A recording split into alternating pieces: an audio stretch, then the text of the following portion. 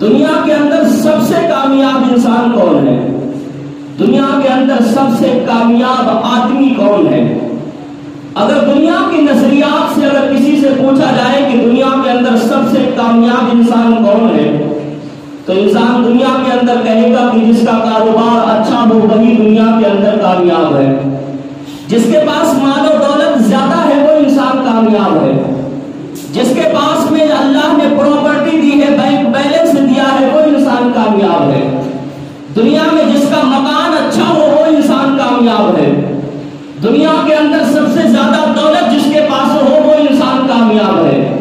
लेकिन क्या यही चीज़ें इंसान की कामयाबी की दलील है? क्या दौलत ही इंसान की कामयाबी की दलील है? क्या शोहरत ही इंसान की कामयाबी की दलील है?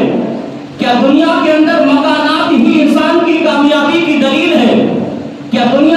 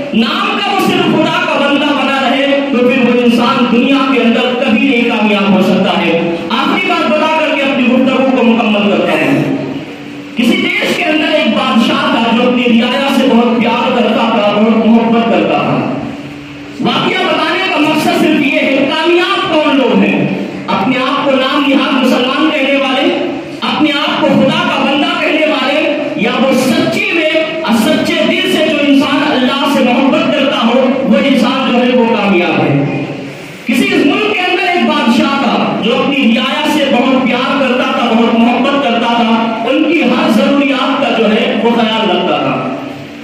अचानक एक दिन उसी गाँव के अंदर एक पीर साहब का दाखिला होता है। पीर साहब उस देश के अंदर दाखिल होते हैं। लोगों की नज़र जब पीर साहब के ऊपर पड़ी तो लोग खुशी हो गए और खुशी से जो है वो अपने पीर के मुरीद होने लगे।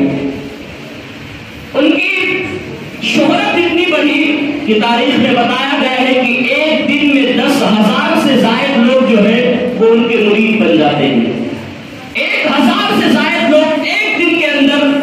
उस मुल्क के अंदर उस पीर के जो है, वो मुरीद बन जाते हैं। अब उसकी शोहरत जब बढ़ी, उसका उरूज जब बढ़ा और लोगों के जबानों पर जब उसका नाम आया कि फला जगह एक पीर साहब आए हैं, जिनकी शोहरत बड़ी है, जिनकी अजमत बड़ी है और हज़ारों की तादाद में जो है, वो लोग जो है, उनकी मुरीद हो रहे हैं और उनसे जो है, वो बयान कर रहे हैं। अब जब दुनिया के अंदर शोहरत बढ़ती है तो कुछ चाहने वाले भी होते हैं और कुछ वो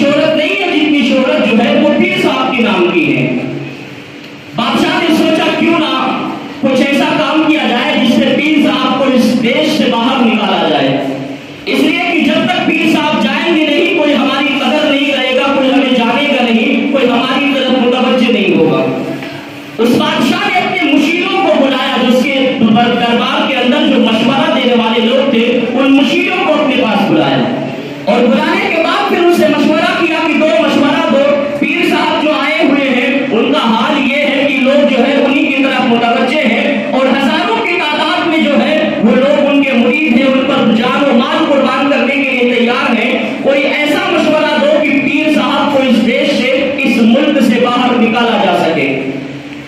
जब ये बात बादशाह ने रखी तो मुड़ी उनके जो मुशीर थे, जो मशवरा देने वाले थे, उन्होंने कहा, बादशाह, ऐसा काम कभी नहीं करना। इतना खतरनाक काम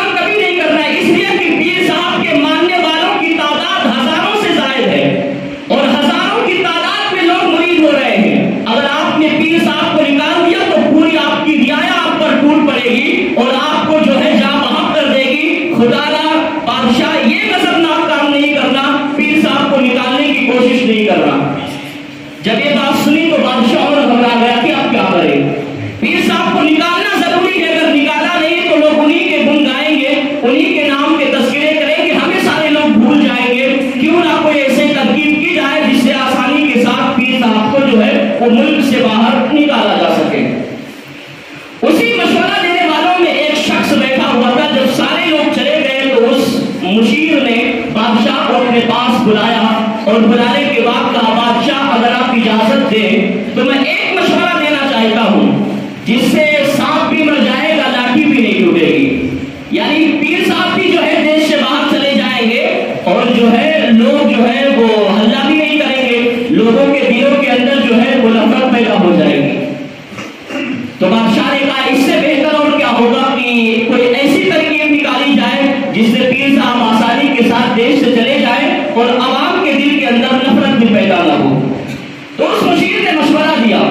उसने कहा बादशाह पीर साहब का दावा यह है कि उनके पास एक चादर है और उनका दावा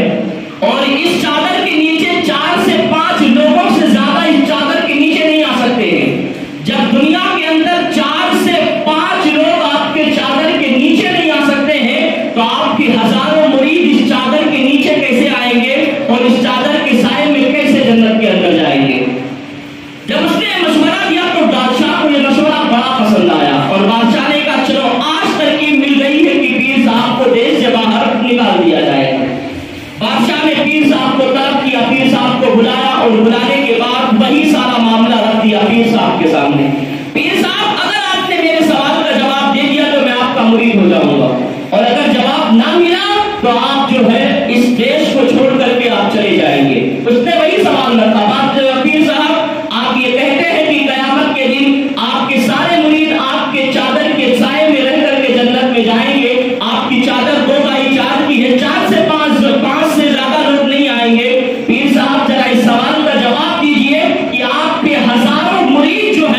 waste job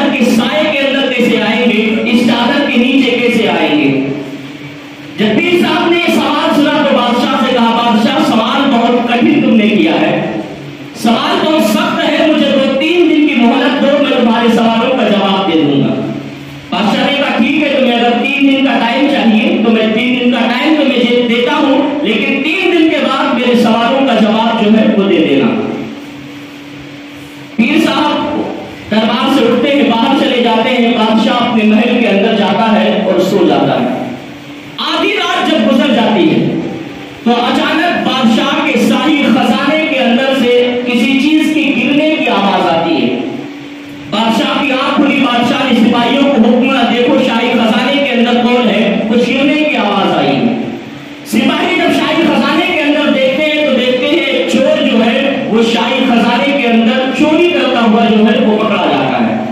उसके मुँह पर कपड़ा डाला जाता है, उसे पकड़ करके बादशाह के सामने पेश किया जाता है। बादशाह, ये शख्स है जो चोरी करने के लिए मेरे आपके शाही खजाने के अंदर दाखिल हुआ था। बादशाह भी सोचने लगा कि आखिर मेरी रियाया के अंदर कौन सा ऐसा शख्स है जो शाही खजाने